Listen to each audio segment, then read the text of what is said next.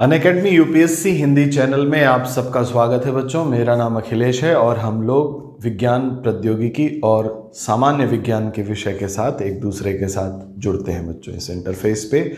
और ये सामान्य विज्ञान की कक्षा है।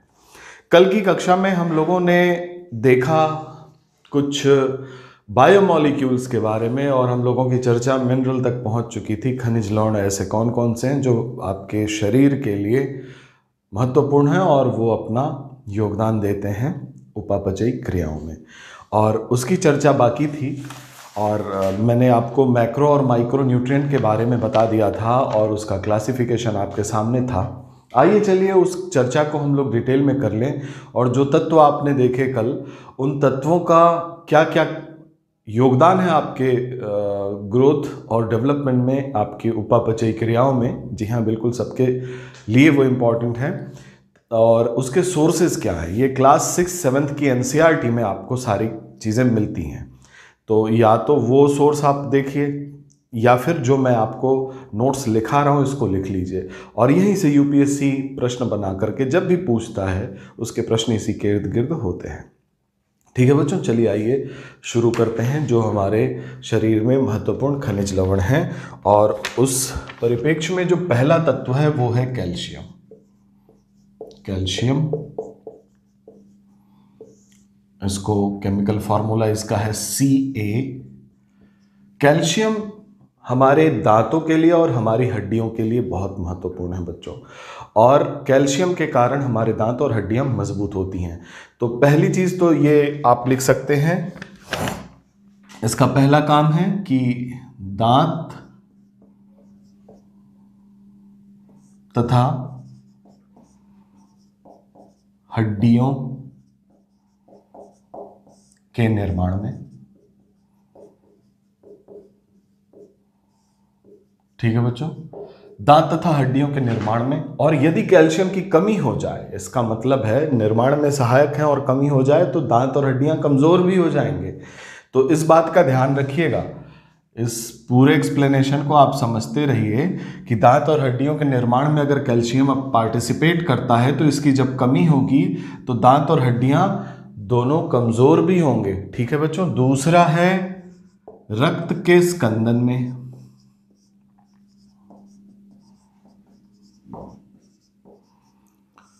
ब्लड कोएगुलेशन, जब चोट लग जाती है और चोट लगने के बाद खून निकल रहा होता है तो वो खून जमना चाहिए, उसके लिए कैल्शियम रोल प्ले करता है बच्चों।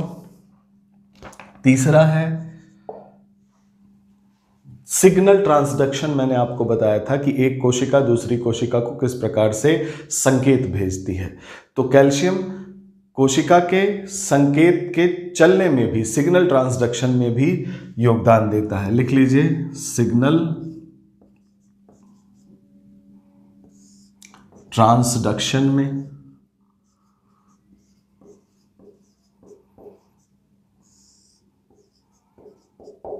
योगदान, ठीक है बच्चों कहाँ कहाँ कैल्शियम यूज़ होता है? उसके बाद अगला है बच्चों तंत्रिकाओं और पेशियों को चलायमान रखता है। तंत्रिका, तंत्रिकाओं और पेशियों को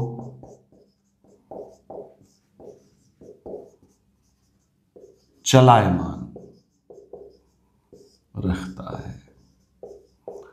तंत्रिकाओं और पेशियों को चलायमान रखता है कैल्शियम ये कैल्शियम के कुछ कार्य हैं बच्चों, और अगर कैल्शियम की कमी होती है तो दांत और हड्डियों के निर्माण में, चूँकि ये योगदान देता है तो दांत और हड्डियाँ कमज़ोर होती हैं।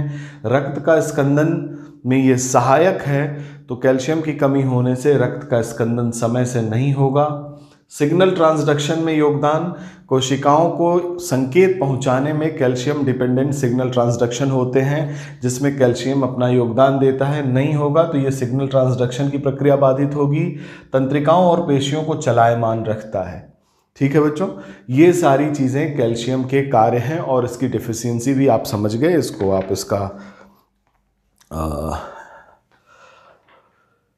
शॉट लीजिए, एक चीज़ और जान लीजिए, ये जो पेशियाँ हैं, इन पेशियों के कॉन्ट्रैक्शन और रिलैक्सेशन जब आप कोई चीज़ उठाते हैं, पेशियों को कॉन्ट्रैक्ट होना होता है, संकुचित होती हैं और रिलैक्स होती हैं।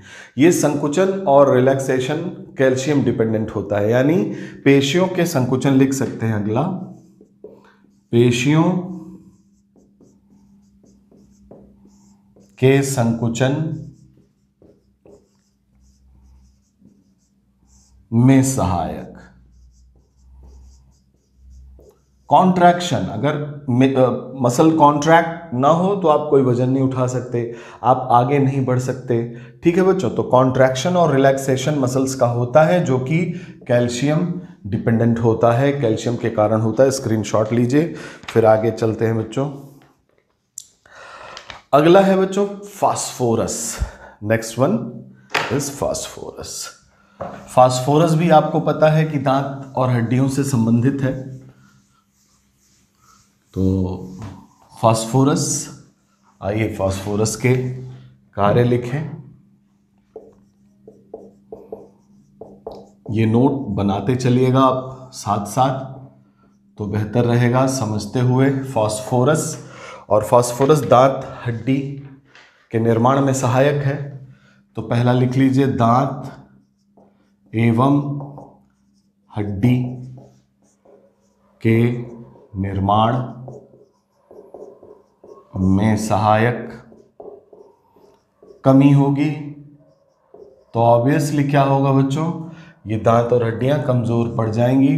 दूसरा है बच्चों, शरीर के अंदर अम्ल क्षार संतुलन, बफर को मेंटेन करता है फास्फोरस तो शरीर के अंदर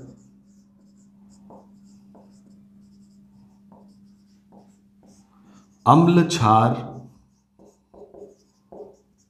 संतुलन।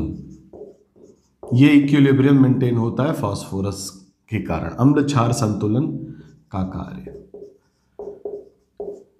ठीक? इसके बाद आपने अभी सेल एंड मॉलिकुलर बायोलॉजी जब आपने पढ़ा तो डीएनए और आरएनए में आपने देखा कि फास्फोरस जो है उसके बैकबोन में है। ठीक है बच्चों? तो डीएनए डीऑक्सीराइबोन्यूक्लिक एसिड में फॉस्फेट होता है, आरएनए, इसमें भी फॉस्फेट होता है, और सबसे important ATP adenosine triphosphate adenosine triphosphate ठीक है बच्चों, इसमें भी फास्फोरस यूज़ होता है। ये क्या है? ऊर्जा सिक्का। एनर्जी करेंसी और इसी में ऊर्जा जो है, रासायनिक ऊर्जा हम लोग उसे उपयोग में लाते हैं। तो डीएनए के स्ट्रक्चर में फॉस्फेट बॉन्ड आरएनए के स्ट्रक्चर में फॉस्फेट बॉन्ड और एटीपी इन तीनों में फॉस्फोरस होता है बच्चों। और अगर कमी होगी तो यहाँ कहीं ना कहीं वो कमी परिलक्षित होती है। यानी एनर्जी मेटाबॉलिज्म भी डिस्टर्ब होगा और जेनेटिक मटेरियल में भी समस्याएँ आ सकती हैं। डीएनए, आरएनए और एटीपी। ठीक है बच्चों? चौथा,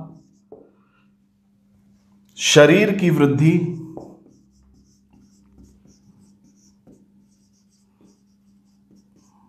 में सहायक। यानी फास्फोरस की कमी से शरीर की वृद्धि अवरुद्ध हो सकती है। फास्फोरस की कमी से दांत कमज़ोर हो सकते हैं।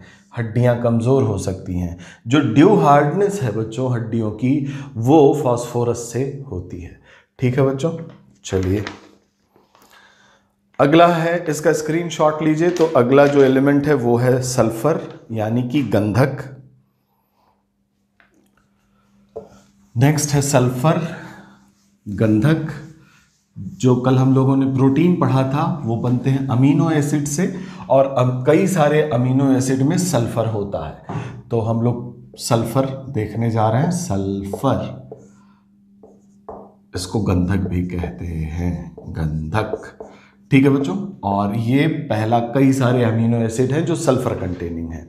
ठीक है? तो अमीनो एसिड बनते हैं सल्फ़र से। तो हम लिख सकते हैं कि सल्फ़र से अमीनो एसिड का निर्माण होता है।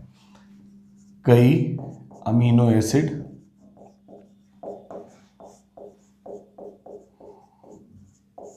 सल्फ़र के बने होते हैं।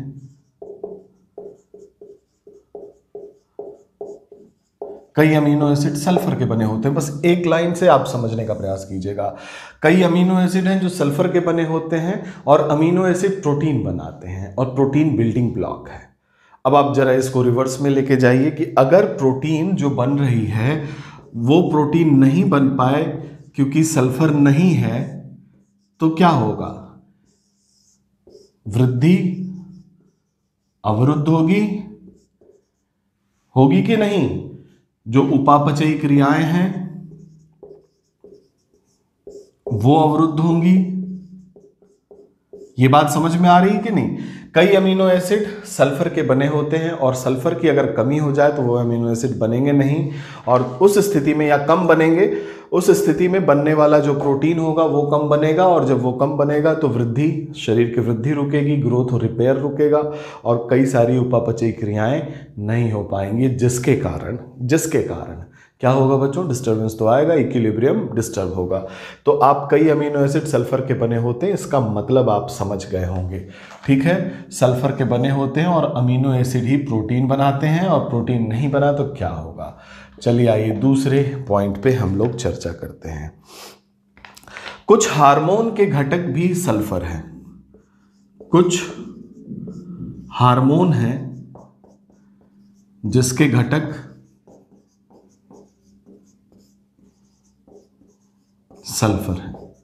यानी जो सल्फ़र कंटेनिंग हार्मोन है, वो नहीं बनेंगे और वो नहीं बनेंगे तो उनके द्वारा किया गया जो कार्य है, वो नहीं होगा। बच्चों, हम लोग एंडोक्राइन सिस्टम में देखेंगे सल्फ़र कंटेनिंग हार्मोन तीसरा बच्चों, हम लोग लिख सकते हैं, कैरोटीन के संश्लेषण में सल्फ़र की आवश्यकता होती है। कैरोटीन कैरोटीन प्लांट के अंदर आपने देखा ना, कैरोटीन पिगमेंट बीटा कैरोटीन जो कि विटामिन ए का प्रिकर्शर है। कैरोटीन के संश्लेषण में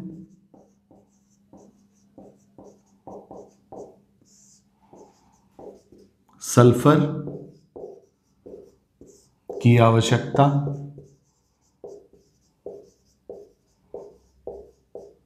होती है। यानी ऐसे पौधे जिसमें कैरोटीन बनता है और जो कि मेन पिगमेंट है क्रोमोप्लास्ट का, वो नहीं बनेगा। और वो नहीं बनेगा तो उसकी यूटिलिटी आपको पता है। कैरोटीन के संश्लेषण में सल्फ़र की आवश्यकता होती है। अगर इसकी कमी हो जाए सल्फ़र की कमी हो जाए तो जो प्रोटीन मेटाबॉलिज्म है बच्चों, वो डिस्टर्ब हो जाता है। प्रोटीन मेटाबॉलिज्म डिस्टर्ब होने का मतलब एक लाइन आप लिख लीजिए सल्फ़र की कमी से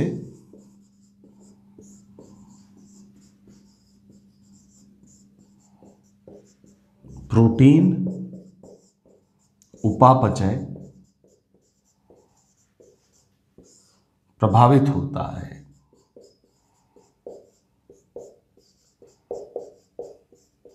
प्रोटीन उपापचय प्रभावित होने का मतलब है बच्चों कि बहुत कुछ डिस्टर्ब हो जाना।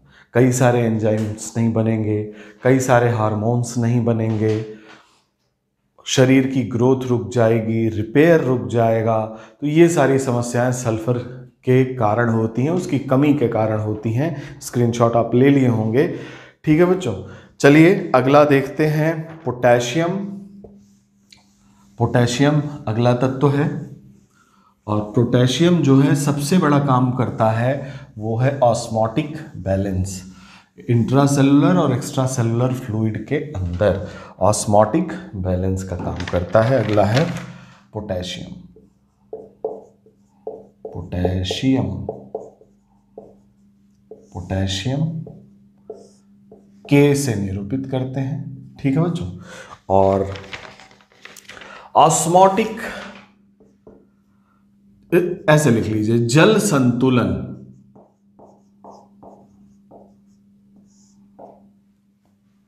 ठीक है? ऑस्मो रेगुलेशन के माध्यम से।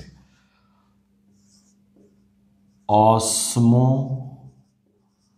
रेगुलेशन के माध्यम से। इनफैक्ट पोटेशियम और सोडियम दोनों ये काम करते हैं, और तभी आपने देखा होगा कि जब कभी खूब सारा डायरिया होता है तो पानी में एक चुटकी नमक मिला के दिया जाता है। तो एक चुटकी नमक से सोडियम मिलता है, या फिर सेलाइन वाटर चढ़ाया जाता है, उसमें सोडियम और पोटेशियम दोनों होते हैं। वो इसलिए होता है बच्चों, जब वाटर लॉस होता है, उसके साथ ये इलेक्ट्रोलाइट भी निकल के चले जाते हैं। तो शरीर में ऑस्मोटिक इम्बैलेंस हो जाता है, जो कि बहुत ज़रूरी है हर एंजाइमेटिक एक्टिविटी के लिए। अगर ऑस्मोटिक इम्बैलेंस होगा तो शरीर में एंजाइमेटिक एक्टिविटी सीज कर जाएगी, और उस अवस्था में आप उसको रिसरेक्ट नहीं कर सकते, बाहर नहीं ला सकते इस ट्रॉमा से बॉडी को या उस पेशेंट को। इसलिए ज़रूरी होता है रीहाइड्रेशन डिहाइड्रेशन हो चुका है रीहाइड्रेशन और रीहाइड्रेशन में आप इलेक्ट्रोलाइट देते हैं। इलेक्ट्रोलाइट का मतलब है सोडियम और पोटेशियम देते हैं, जिससे शरीर का ऑस्मोटिक बैलेंस प्रॉपर हो जाता है। ऑस्मोटिक बैलेंस और जब ऑस्मोटिक बैलेंस सही हो जाएगा, यानी आसपास की जो कोशिकाएँ हैं, वो ऑस्मोटिकली बैलेंस्ड होंगी। इनके बीच जो पारगम्यता है और उस पारगम्यता से जो इलेक्ट्रोलाइट अथवा जो वाटर का संचरण है, वो बैलेंस होगा। तो इसके अंदर जो एंजाइम की एक्टिविटी हो रही होगी एंजाइम एक्टिविटी वो प्रॉपर होगी। यानी कि वाटर की आवश्यकता होती है किसी भी कोशिका में। पानी चाहिए होगा? वाटर ठीक है बच्चों? और आपको पता है जीव द्रव्य में लगभग 65 टू 70 परसेंट वाटर है। तो ये वाटर इसलिए होता है ताकि वहाँ पे जो भी उपापचयी क्रियाएँ हैं वो अच्छे से हो सकें। अब होगा क्या कि ये वाटर का बैलेंस बनता है ऑस्मोटिक बैलेंस के कारण? दोनों तरफ़ कंसंट्रेशन जो होता है, समान होता है तो वाटर बैलेंस बना रहता है। अब क्या हुआ? कोई इन्फेक्शन हुआ और इन्फेक्शन के कारण ये वाटर लॉस हो गया। ठीक है बच्चों? वाटर लॉस होने से क्या होगा कि ये सेल के अंदर जो पानी का लेवल होना चाहिए सही सही पानी का लेवल जिसमें एंजाइम एक्टिव हो सके, वो नहीं बन पाता और ये वाटर लॉस हो जाता है तो सेल के अंदर एंजाइम एक्टिविटी नहीं होती। उसका प्रभाव ये पड़ता है बच्चों सेल मर जाती है और इस तरह से पूरे शरीर में होता है तो पूरे शरीर को, की कोशिकाएँ मरने लगती हैं और उससे बचने के लिए आप क्या करते हो? ओ आर एस का घोल लेते हो। लेते हो ना? ओ आर एस का घोल लेते हो आप फटाफट। या फिर नमक, एक चुटकी पानी के साथ पीते हो। एक चुटकी नमक की कीमत तुम आज जाने हो। नमक, एक चुटकी आप लेते हो पानी के साथ। वो भी क्या करता है बच्चों? ये जो ऑस्मोटिक बैलेंस है, उसको रीस्टोर करता है। यानी हर सेल में पर्याप्त पानी की मात्रा को रीस्टोर करता है और जब ऐसा हो जाता है तो एंजाइम एक्टिविटी चलने लगती है और हर सेल में एंजाइम एक्टिविटी हमेशा हो रही है। ठीक है बच्चों? जो श्वसन की प्रक्रिया होती है माइटोकांड्रिया में, वो प्रक्रिया सतत चल रही होती है, उसमें कोई भी अगर रुकावट होती है तो वो सीधे सीधे सेल डेथ को रिज़ल्ट करती है। तो ऑस्मोटिक बैलेंस बहुत ज़रूरी है, जिसको संतुलित करने के लिए पोटेशियम रोल प्ले करता है, और सिर्फ़ पोटेशियम ही नहीं सोडियम भी। तो Na प्लस और K प्लस ये दोनों एलिमेंट ऐसे हैं, जो बॉडी के ऑस्मो रेगुलेशन में सहायक होते हैं। ये बात समझ में आ गई? चलिए ओआरएस का घोल पीते हैं या एक चुटकी नमक को एक गिलास पानी में डाल के पीते हैं? शिकंजी नहीं पीते, याद रखिएगा। ठीक है बच्चों इलेक्ट्रोलाइट की कमी हो जाती है जल संतुलन। जल संतुलन के बाद आप लिख सकते हैं, हृदय स्पंदन तंत्रिका पेशियों की, कार्य की, दूसरा लिख सकते हैं, हृदय स्पंदन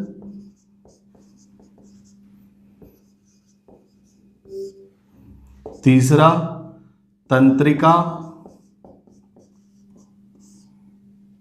कोशिका की कार्य की।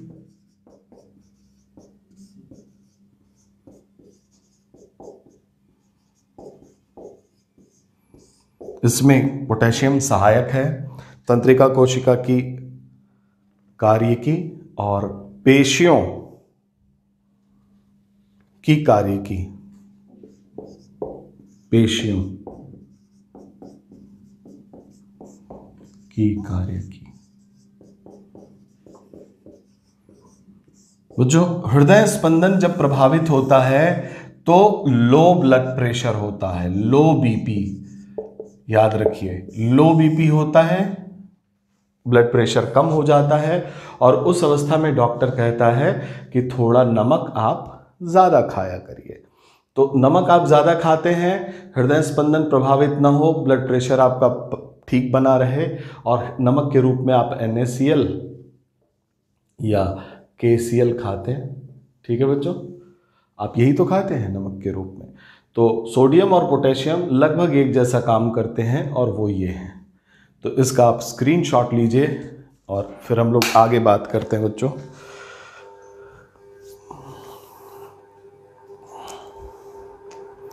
अगला है बच्चों, मैग्नीशियम। ये इंपॉर्टेंट है, ध्यान रखिएगा, मैग्नीशियम। और सोडियम मैं अलग से नहीं लिखवा रहा हूँ, सोडियम भी सारा कुछ लगभग यही है, सोडियम का। तो अगला है magnesium.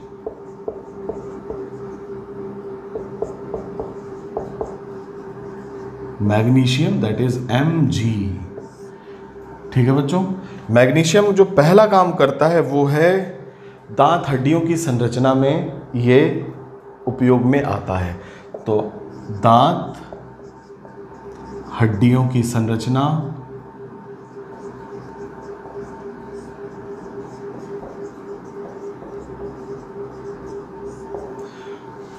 ठीक है बच्चों? और दूसरा काम है इसका, तंत्रिका तंत्र की कार्य की। तंत्रिका तंत्र की कार्य की को इसका डेफिशिएंसी प्रभावित करता है। तंत्रिका, तंत्र की कार्य की प्रभावित होती है इसकी डेफिशिएंसी से। इसका स्क्रीनशॉट लीजिए। फिर हम लोग आगे चलते हैं। जो इम्पोर्टेंट है, वो हम लोग बात कर रहे हैं। अगला है बच्चों आयोडीन आयोडीन सभी जानते हैं, आयोडीन युक्त नमक खाना चाहिए। आयोडीन दिस इज़ आई ठीक है बच्चों? और आयोडीन क्या करता है? जो थायराइड ग्लैंड है बच्चों, उससे एक हार्मोन निकलता है थायरॉक्सिन उसका प्रमुख घटक है। पहला लिख लीजिए थायरॉक्सिन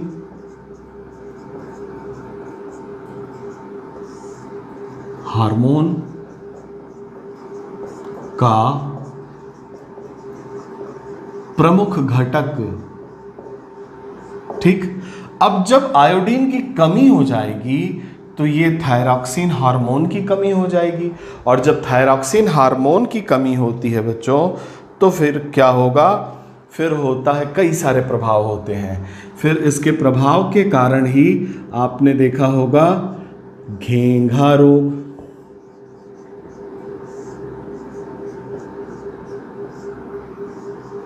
ग्वाइटर ठीक, दूसरा आपने देखा होगा, आयोडीन की कमी से शरीर की वृद्धि और बुद्धि की वृद्धि दोनों का विकास धीमा हो जाता है। तो आप लिख सकते हैं बुद्धिहीनता या बुद्धि का विकास अवरुद्ध लिखें। बुद्धिहीनता सही शब्द नहीं होगा, विकास अवरुद्ध। ठीक है बच्चों घींगा रोग होगा, बुद्धि का विकास अवरुद्ध होगा और साथ ही साथ शरीर का विकास भी धीमा होता है। शरीर का विकास धीमा होता है। ये सारी चीज़ें होती हैं कब? जब आयोडीन की कमी होती है। और आयोडीन युक्त नमक खाना चाहिए। ठीक है बच्चों? आयोडीन युक्त नमक। ठीक है? एक चीज़ और जान लीजिए बच्चों, यहाँ से सवाल बना हुआ है। ये आयोडीन समुद्र की एक घास होती है, उससे निकाला जाता है। बेसिकली वो घास नहीं होती, वो ब्राउन एल्गी होते हैं, भूरे शैवाल होते हैं, जिससे आयोडीन निकाला जाता है। तो ये भी लिख लीजिए। व्यवसायिक रूप से आयोडीन, समुद्री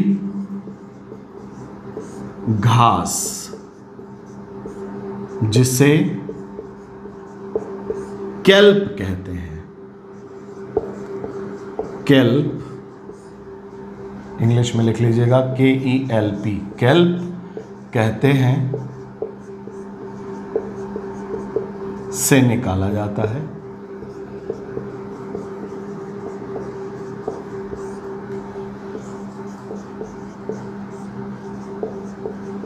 जो कि भूरे, शैवाल, जो कि भूरे शैवाल, ब्राउन एल्गी। जो कि भूरे शैवाल हैं, ब्राउन एल्गी हैं, और ये तीन चार बार पूछा हुआ है स्टेट पीसीएस में भी, और एक बार यूपीएससी में भी पूछा गया है। तो आयोडीन जो निकाला जाता है बच्चों, वो व्यवसायिक रूप से समुद्री घास से निकाला जाता है, जिसे नॉर्मल जनरल भाषा में केल्प कहते हैं, और बॉटनिक, बॉटनिकल जो इसका एग्जिस्टेंस है, आप उसे ब्राउन एल्गी कहा जाता है।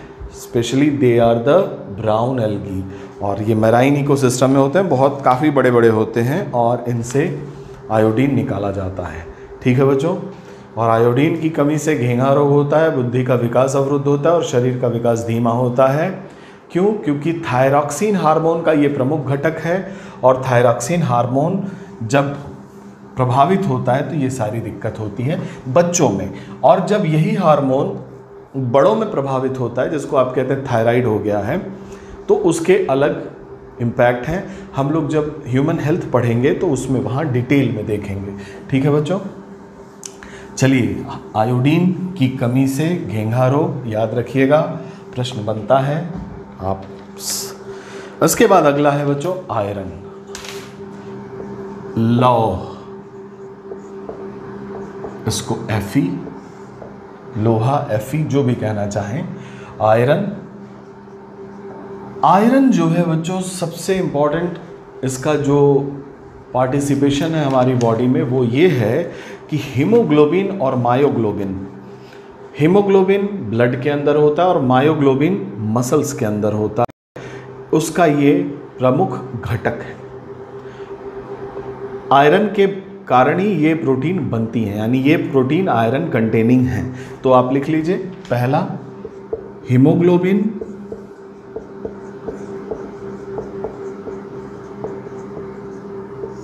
तथा, मायोग्लोबिन।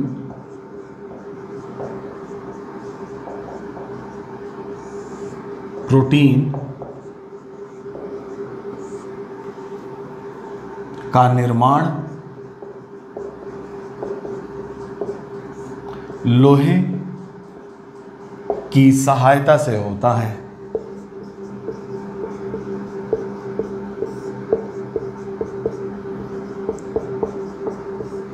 ब्रैकेट में डाल दीजिएगा, प्रमुख घटक। यानी नहीं है लोहा, कम है तो पक्का असर आएगा हीमोग्लोबिन के अमाउंट पे। और हीमोग्लोबिन अगर कम है आपके ब्लड में तो उस कंडीशन को हम कहते हैं एनीमिया ठीक है बच्चों?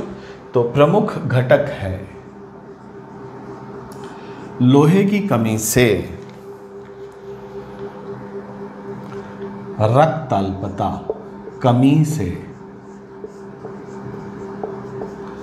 रक्त अल्पता एनीमिया,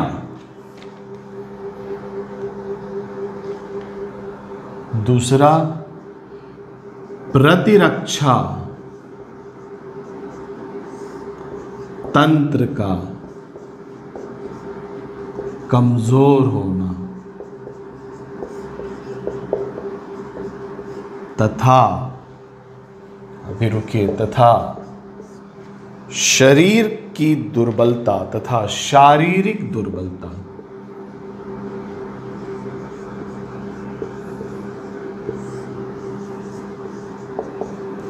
किससे हो रहा है बच्चों? आयरन की कमी से। अब आयरन कहाँ मिलता है? Green leafy vegetable. ठीक है बच्चों, मीट में मिलेगा, दूध में मिलता है। तो सोर्सेज आप देख लीजिएगा। कुछ इंपॉर्टेंट सोर्सेज हैं, जैसे सबके सोर्स तो मोस्टली जनरल होते हैं। आप एक बार उसको देख लेंगे, समझ में आ जाएगा। कुछ इंपॉर्टेंट हैं जिसके सोर्स आपको जानने चाहिए। ऐसा हम लोग विटामिन वाले सेक्शन में देख लेंगे। बाकी ये जो मिनरल होते हैं मोर और लेस सभी फ़ूड में होते हैं। ठीक है बच्चों? तो इसलिए मैं सोर्सेज नहीं लिखा रहा हूँ। कमी से रक्ताल्पता, प्रतिरक्षा तंत्र का कमज़ोर होना और शारीरिक दुर्बलता होती है। और हीमोग्लोबिन है तो ऑक्सीजन के परिवहन में सहायक होता है, उसी से चीज़ें रिलेट हैं। ठीक है? चाहे वो प्रतिरक्षा तंत्र का कमज़ोर होना हो या रक्ताल्पता हो। ठीक है बच्चों? चलिए अगला देखते हैं zinc. It's very important element zinc.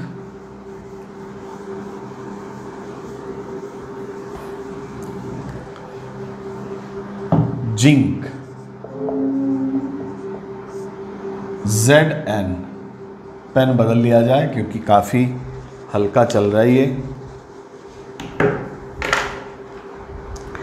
Zinc बहुत ही महत्वपूर्ण घटक है बच्चों। इसके कमी से जो सेक्सुअल ऑर्गन होते हैं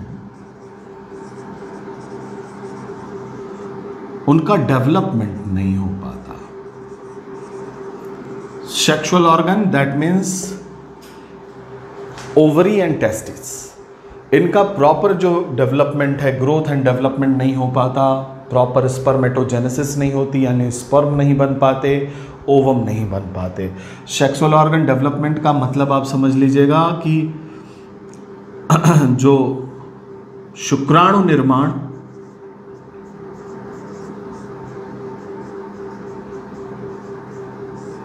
की प्रक्रिया।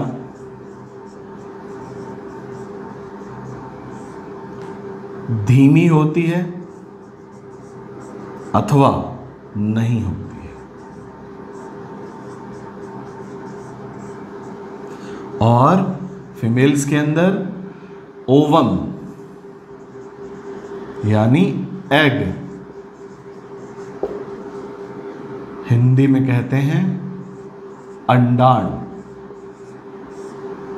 इनका निर्माण या तो धीमा होगा या फिर नहीं होगा। जिंक की कमी से, ठीक है बच्चों? जिंक की कमी से ये चीज़ें होती हैं। दूसरा है बच्चों इम्यूनिटी पे बड़ा बुरा असर होता है जिंक की कमी से। मैं यहाँ, ये दूसरा लिख लीजिए, यहाँ मैं पहला लिख देता हूँ। लिख लीजिए, प्रतिरक्षा प्रणाली पर विपरीत प्रभाव।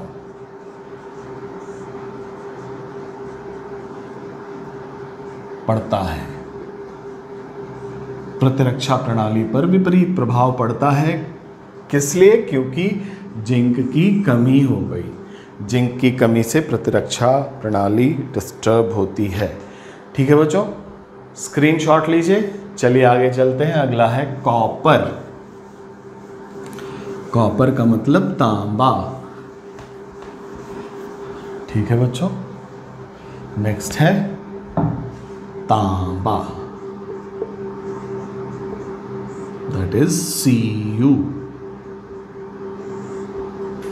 ठीक है बच्चों सी यू एक एंजाइम होता है, याद रखिएगा साइटोक्रोम ऑक्सीडेज जो कि आपके शरीर का सबसे तेज एंजाइम है और जो रेस्पिरेशन में सहायक होता है। अगर ये एंजाइम डिस्टर्ब हो जाए तो सीधे सीधे रेस्पिरेशन ब्लॉक हो जाता है। रेस्पिरेशन का मतलब ब्रीदिंग नहीं है। रेस्पिरेशन का मतलब है माइटोकॉन्ड्रिया में ग्लूकोज का एटीपी में टूटना। वो जब ब्लॉक होता है तो तुरंत जो शरीर के ऊर्जा की मांग होती है, वो रोक दी जाती है। ठीक स्विच ऑफ़ होता है कंडीशन और जब स्विच ऑफ़ कंडीशन होता है, ऊर्जा की मांग रुकती है, सारी की सारी मेटाबॉलिक एक्टिविटी एक साथ बंद हो जाती है और इरिपेरेबल लॉस फिर आदमी को उससे बाहर नहीं लाया जा सकता और उसकी मृत्यु हो जाती है। साइटोक्रोम ऑक्सीडेज उस एंजाइम का नाम है, जो आपके शरीर का सबसे तीव्र एंजाइम है। अच्छा वो क्या करता है? वो एटीपी बनाने में सहायक होता है। यानी जो श्वसन में, कोशिका में श्वसन हो रहा है, उसमें सहायक है। यानी तांबा जो है साइटोक्रोम ऑक्सीडेज का प्रमुख घटक है, याद रखिएगा। आप लिख लीजिए। पहला, तांबा। साइटोक्रोम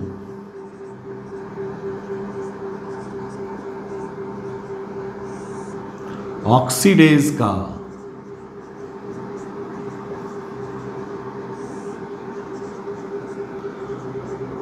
प्रमुख घटक। इसकी ज़रा चर्चा होनी चाहिए। प्रमुख घटक है साइटोक्रोम ऑक्सीडेज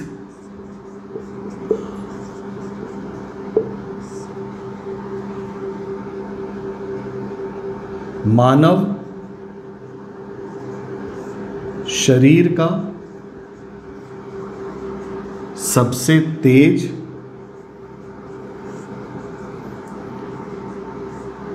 तथा सबसे महत्वपूर्ण।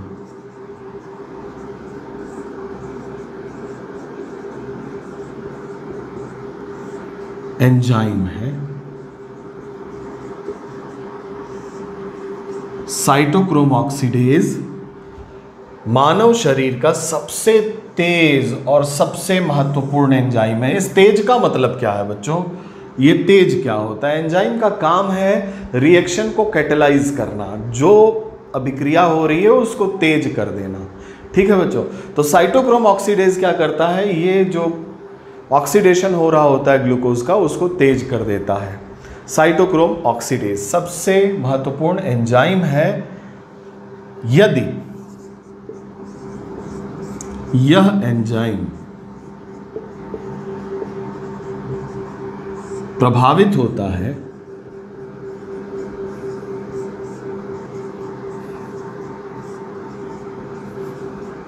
तो शरीर की समस्त उपापचयी प्रक्रियाएँ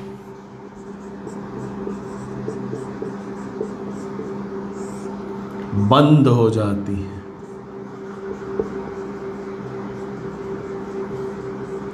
समस्त उपापचयी प्रक्रियाएँ बंद हो जाती हैं। स्क्रीनशॉट लीजिए, अभी और भी कुछ बताना है आपको। समस्त साइटोक्रोम ऑक्सीडेज, जो कि जिसका तांबा प्रमुख घटक है बच्चों। यहाँ ध्यान दीजिएगा, सबसे तेज है और सबसे महत्वपूर्ण एंजाइम है और यह एंजाइम प्रभावित होता है तो शरीर की सभी उपापचयी प्रक्रियाएँ सीज कर जाती हैं। ऐसा क्यों? क्योंकि यह श्वसन को कंप्लीट कराता है। माइटोकांड्रिया में होने वाले श्वसन को और ये इलेक्ट्रॉन ट्रांसपोर्ट चेन का एक पार्ट होता है। जैसे ही इसे रोक दिया जाता है बच्चों, क्या होगा? बाकी की प्रक्रियाएँ जिसमें ऊर्जा निकलने वाली है, पूरे कोशिकाओं को जाने वाली है, वो रुक जाएगी। और जब ऐसा होता है तो शरीर की सभी उपापचयी प्रक्रियाएँ बंद हो जाती हैं। ये है कॉपर का महत्व। ठीक है बच्चों? अब चलिए इससे थोड़ा आगे चल के एक बात और समझ लें, जो यहाँ आपको जानना ज़रूरी है, कि आपने सुना होगा बहुत ही तीव्र जहर के बारे में पोटेशियम साइनाइड। सुना है ना? पोटेशियम साइनाइड क्या करता है? के इसमें जो साइनाइड है बच्चों, साइनाइड हो या एजाइड हो, ये केमिकल नेम है कुछ, मैं लिख दे रहा हूँ, अथवा कार्बन मोनोऑक्साइड।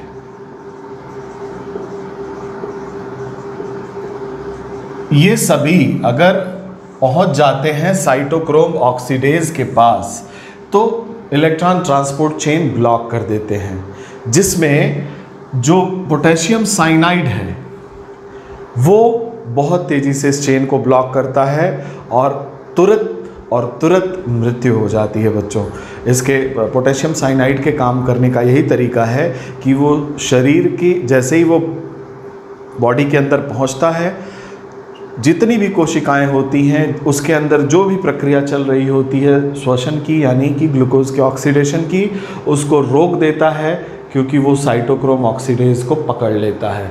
और आप समझ सकते हैं कि साइनाइड खाने के 20 से 30 सेकंड में ही मृत्यु हो जाती है।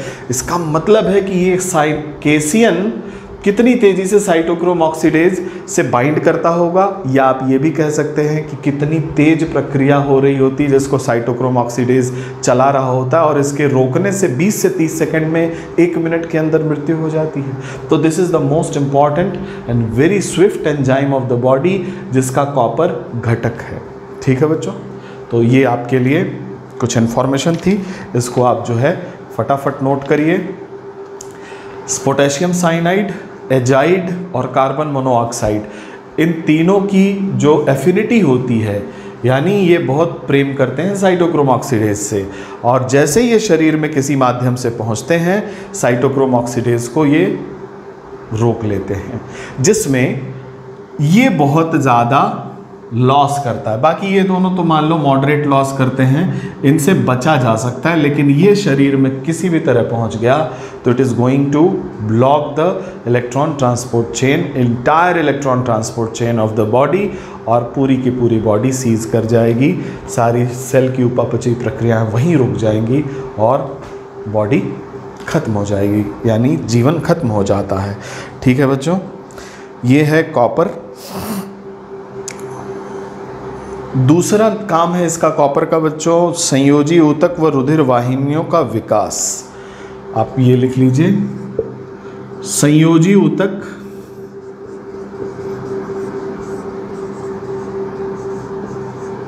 तथा रुधिर वाहिनियों का विकास, जिसमें कॉपर योगदान देता है।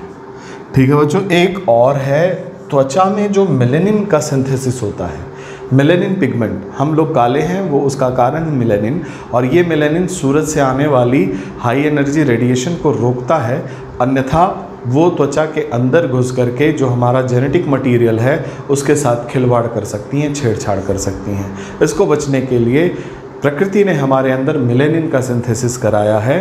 क्योंकि हम लोग इक्वेटर और आसपास के क्षेत्रों में हैं। अगर हम टेम्परेट रीजन में होते तो हम गोरे होते। ठीक है बच्चों? वहाँ मिलेनिन सिंथेसिस कम होती है और ये जो मिलेनिन है, उसकी सिंथेसिस में कॉपर रोल प्ले करता है। तो मिलेनिन सिंथेसिस में कॉपर सहायक होता है। लिख लीजिए। मिलेनिन के संश्लेषण में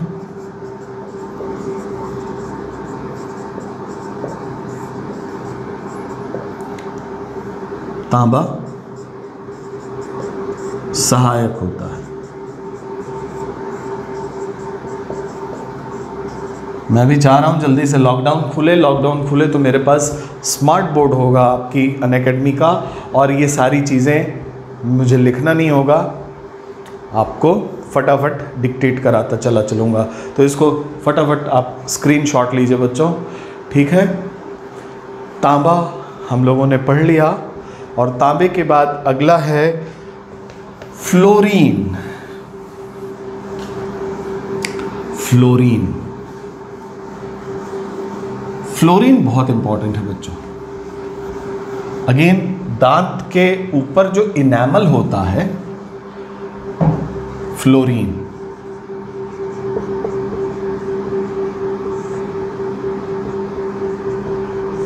पहला लिख लीजिए, दांत के ऊपर इनेमल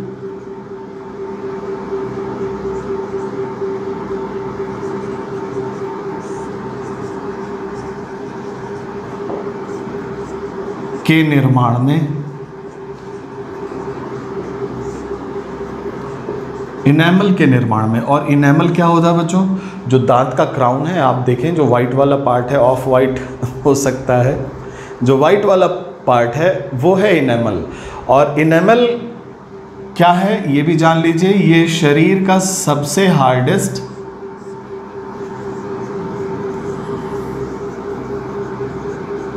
कठोर भाग है hardest part of your body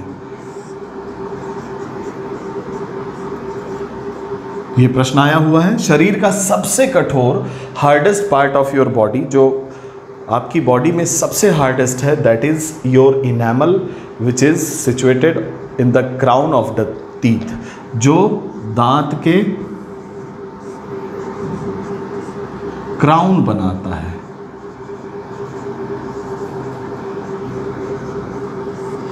हम लोग बच्चों, अभी जब डाइजेस्टिव सिस्टम पढ़ेंगे तो बहुत डिटेल में देखेंगे इन्हें।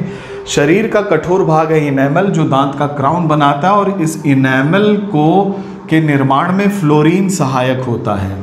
निर्माण क्या? जो इसमें ड्यू हार्डनेस है ना इनेमल का जो हार्डनेस है, वो फ्लोरीन के कारण होता है। तो आप यहाँ लिख सकते हैं शॉर्ट में कि इसका, इसकी कठोरता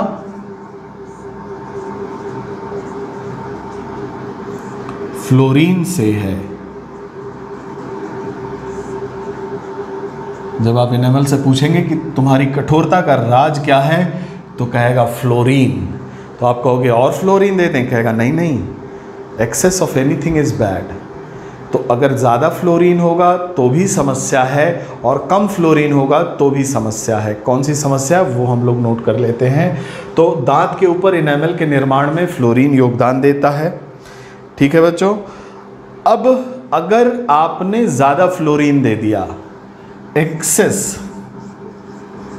एक्सेस ऑफ़ फ्लोरीन दे दिया। जैसा कि आपने सुना होगा, महानगरों के पानी में फ्लोरीन का contamination excess of fluorine are there in water और उससे होती है एक बीमारी जिसका नाम है फ्लोरोसिस क्या नाम है बच्चों?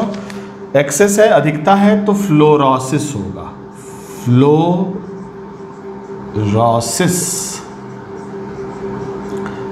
ठीक है बच्चों? कब होगा? जब इनेमल को कहोगे अच्छा आप कठोर हो, और कठोर बना दें, और फ्लोरीन लो।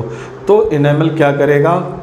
दुखी हो जाएगा और उसके चारों तरफ़ काला काला बन जाता है और वो फिर झड़ना शुरू कर देता है उसका फ्लोरीन और कम हो जा, होता जाता है इनेमल तो इस रोग को कहते हैं फ्लोरोसिस। और अगर फ्लोरीन की कमी हो जाए, ठीक है? डेफिशिएंसी। उसमें रोग जो होता है, उसका नाम है फ्लोरिडोसिस। क्या नाम है बच्चों? फ्लोरिडोसिस। फ्लोरिडोसिस। ठीक है? फ्लोरिडोसिस। याद कैसे करेंगे? देखो डेफिशिएंसी का डी फ्लोरोसिस में नहीं है। लेकिन फ्लोरो, फ्लोरिडोसिस में है।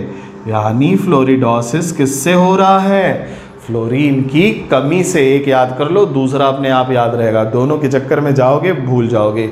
So fluoridosis is because of deficiency of fluorine in your balance diet और excess of fluorine cause fluorosis और दोनों केस में दांत कमज़ोर होते हैं, दोनों केस में।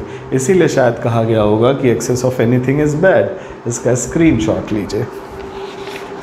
फ्लोरिडोसिस फ्लोरियोसिस फ्लोरिडोसिस कब? फ्लोरिडोसिस तब जब बच्चों फ्लोरीन की कमी होती है। ठीक है बच्चों? आइए एक और है। इंपॉर्टेंट एलिमेंट वो है क्लोरीन देखते हैं क्लोरीन क्या क्या करता है।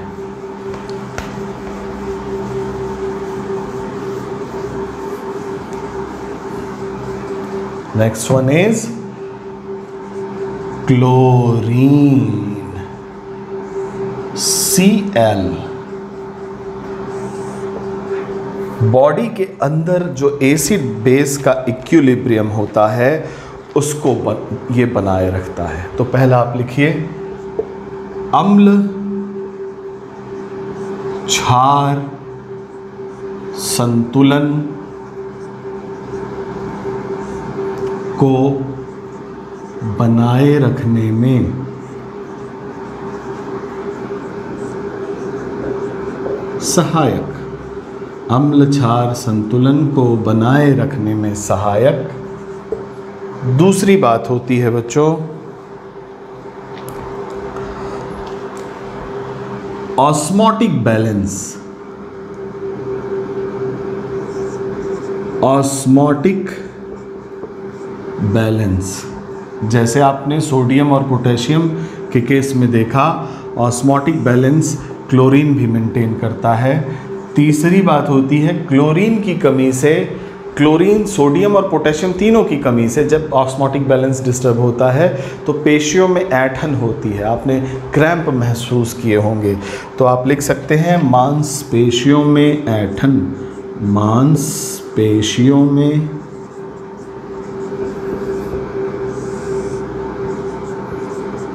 ऐठन। ऐठन कब होती है बच्चों? जब ऑस्मोटिक बैलेंस डिस्टर्ब होता है। बेसिकली मांसपेशियों में ऐठन की समस्या सोडियम, पोटेशियम और क्लोरीन और साथ ही साथ कैल्शियम। चूँकि ये सब मांसपेशियों के बनने में सहायक हैं ये कॉन्ट्रैक्शन में सहायक है, ये ऑस्मोटिक बैलेंस में सहायक है और ये एसिड बेस इक्विलिब्रियम में सहायक है।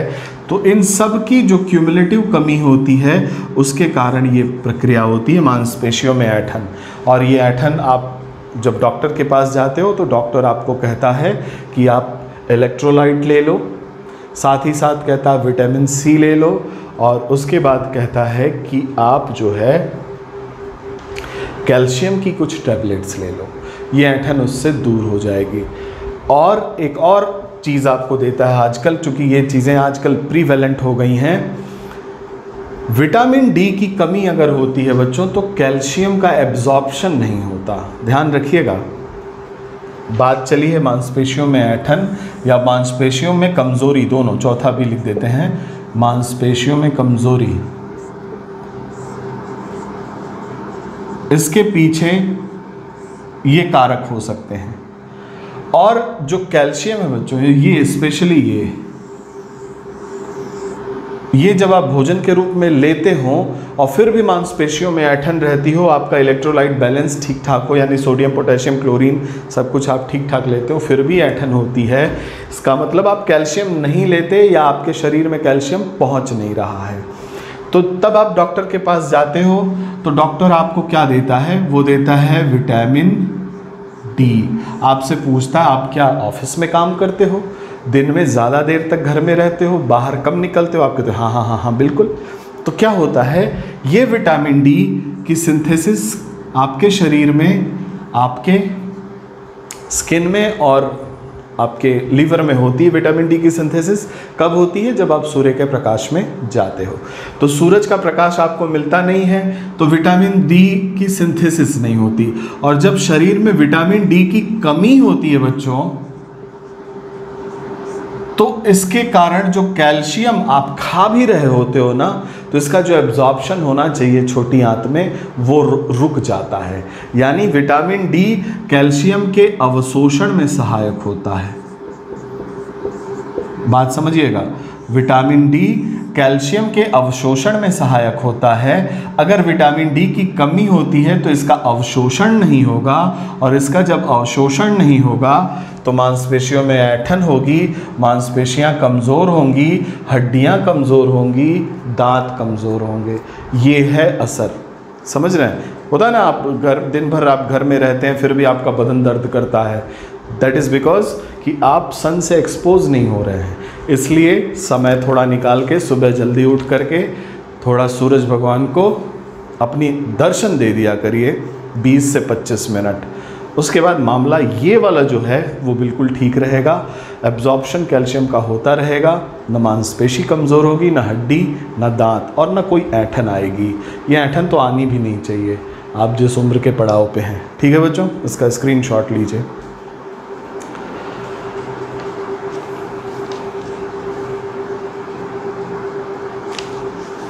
तो ये कुछ आ, आपके सामने मैंने एलिमेंट्स रखे जिससे होने वाले, जिसकी कमी से होने वाले जो समस्याएँ थीं, उसको मैंने आपसे शेयर किया। इसके बाद बच्चों, हम लोगों को पढ़ना है विट, विटामिन्स। तो विटामिन्स आइए शुरू कर देते हैं। अब समय भी ख़त्म होने वाला है, लेकिन जहाँ तक हो सके, वहाँ तक देखते हैं। पूरा तो नहीं ख़त्म हो पाएगा।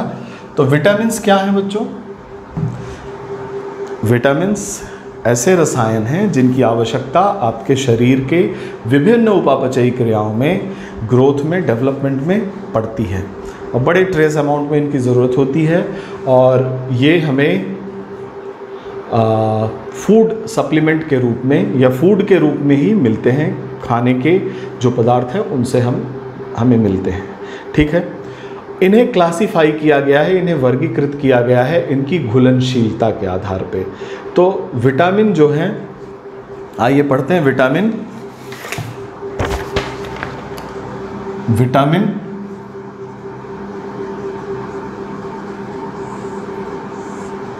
इनको घुलनशीलता के आधार पे दो भागों में बांटा गया है। घुलनशीलता।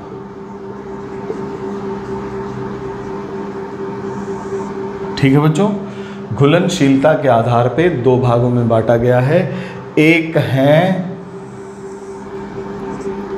पानी में घुलनशील। विटामिन। और दूसरे हैं वसा में घुलनशील। ठीक है बच्चों? एक तो पानी में घुल जाते हैं और दूसरे फैट में डिजॉल्व होते हैं, fat dissolving and water dissolving ठीक है बच्चों? वाटर डिजॉल्विंग दो तरह के विटामिन होते हैं और जो फैट सॉल्युबल होते हैं वो है ए डी ई और के और वाटर सॉल्युबल हैं बी और सी तो चलिए लिख लेते हैं water soluble B vitamin B और सिर्फ़ बी अकेले नहीं आता। ये कई सारे इसके भाई बहन हैं। तो इनको लिखते हैं बी कॉम्प्लेक्स और विटामिन सी ये दोनों क्या है बच्चों? ये पानी में घुलनशील हैं। और फैट में घुलनशील विटामिन है A D E and K vitamin A D E और के ये विटामिन है वसा में घुलनशील और विटामिन बी कॉम्प्लेक्स और विटामिन सी हैं फैट में घुलनशील स्क्रीनशॉट ले लीजिए।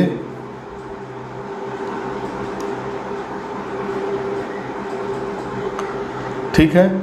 और एक इन्फॉर्मेशन और आप लिख सकते हैं इसके बारे में। इनकी जो खोज की डिस्कवर्ड बाय फंक फुंक महोदय ने 1912 में विटामिन की खोज की और बताया कि ये वो केमिकल हैं जो कि इंपॉर्टेंट हैं। मेटाबॉलिक एक्टिविटी के लिए